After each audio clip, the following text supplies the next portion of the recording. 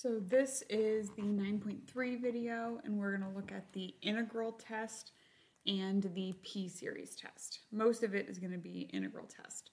Um, p-series test we'll talk about a little bit at the end and then I'll do a quick summary of the tests that you've had so far.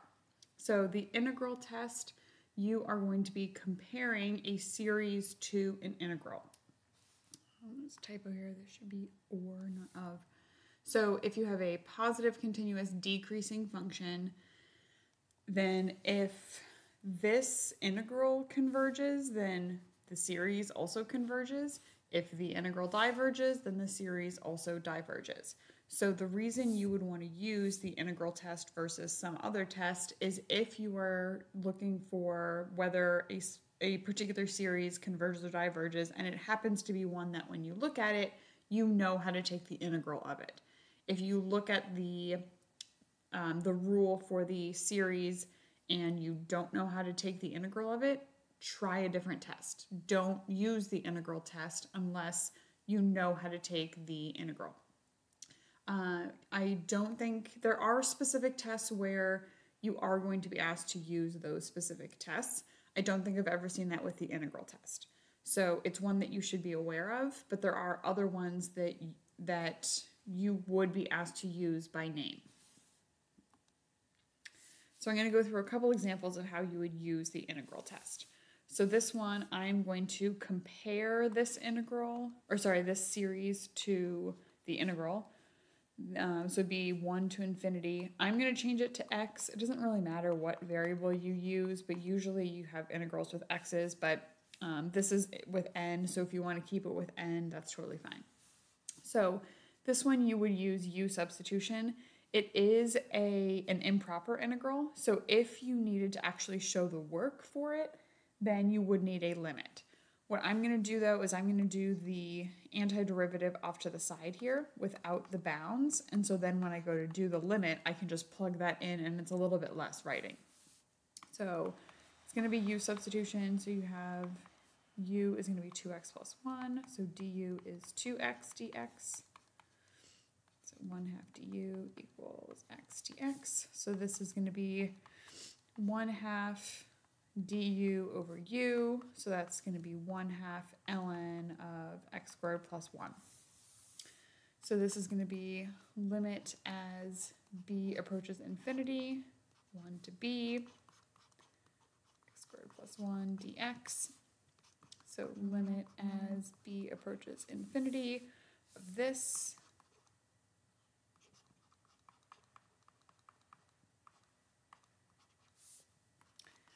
which is limit as b approaches infinity. 1 half ln of b squared plus 1 minus 1 half ln of 2. So as b approaches infinity, this part right here is approaching infinity. So that means this entire thing, and then I'm subtracting a constant, but it's still going to be infinity. So this integral diverges, which means this series also diverges. So you would say this diverges by the integral test. So one nice thing about the integral test is it can be used to say that a series converges or diverges. So the nth term test that was in 9.2, that's one that you can only use to say that something converges. So there are some tests that you can only use to say this converges. If the test doesn't work, then you need to find something else. So on one hand, it has to be something that you know how to take the integral of. On the other hand, it's nice because it will tell you exactly what's happening. So this one looks very similar, except it's a 1 on top instead of an n. So limit as b approaches infinity, 1 to b. The antiderivative of this is arctan. So this is going to be arctan of x from 1 to b.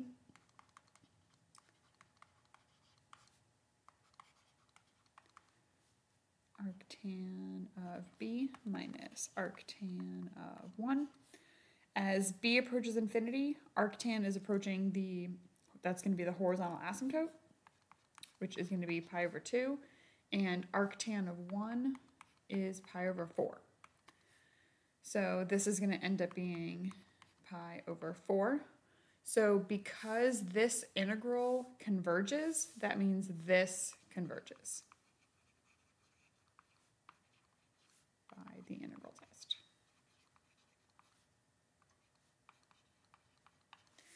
What you want to be careful with is don't say that it converges to pi over 4. So if the integral converges, then that just tells us that the series converges. It doesn't tell us what it converges to.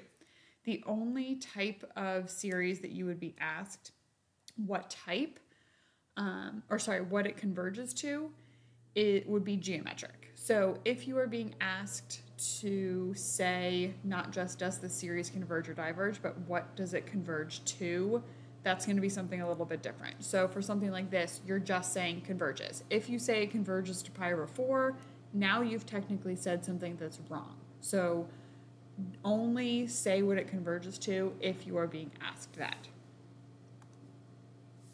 I'm going to go through one more example. So this one, the antiderivative, I'm going to do it off to the side because it is going to require u substitution. u is going to be ln of x, du is going to be 1 over x dx. So this ends up being du over u. So it's going to be ln of ln of x. So this one is limit as b approaches infinity. Be careful, this one does start with 2. The reason it starts with 2 is because this function is not defined at 1 because you would have 0 in the denominator. Oops. x ln x dx.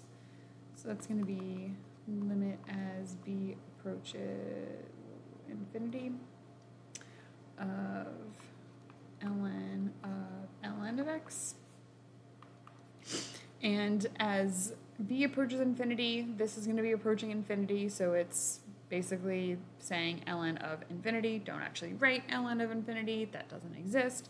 But this limit is going to equal infinity, which means this series diverges by the integral test.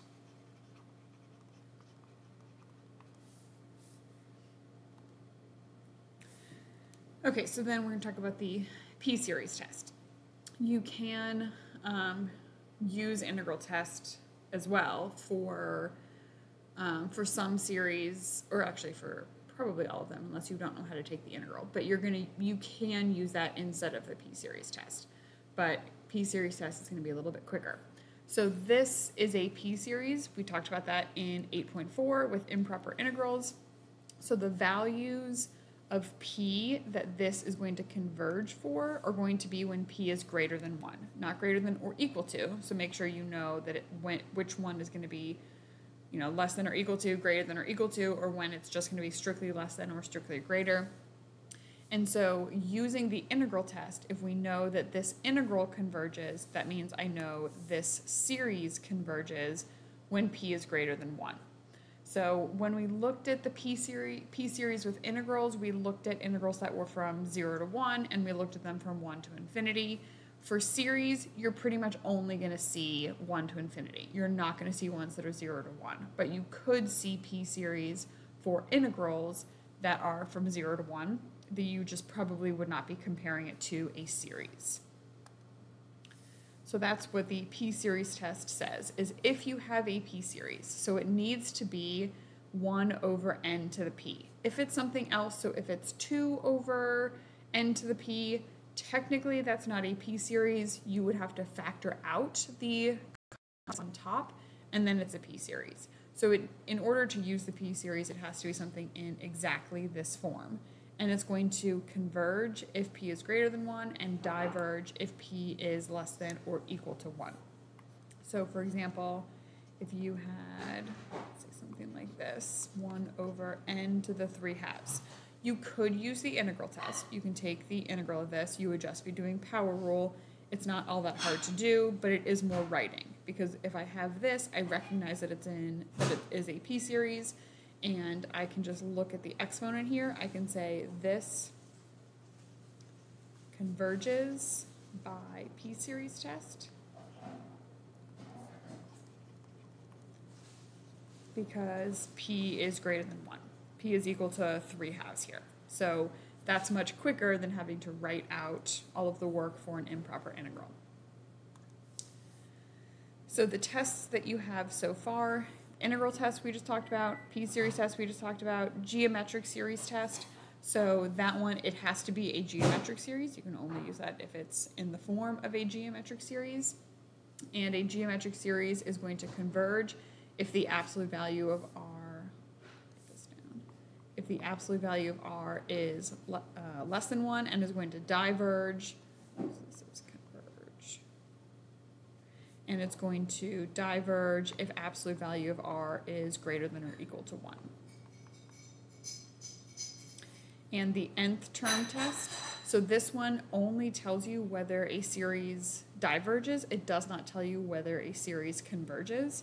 So if the limit as n approaches infinity of the rule for the sequence, so you're looking at the sequence, not the um, series, if the sequence, um, if this limit is does not equal zero, then we know that the then we know that the series diverges. So if the limit of the sequence is not equal to zero, the series diverges. If the limit is equal to zero, that just tells us that the series might converge. We would need to find a different test. So the nth term test is a really quick test. It's a nice one to have, but it's not going to, you're not going to be able to use it for every single series. So just be careful with that one. So these are the four that you have so far.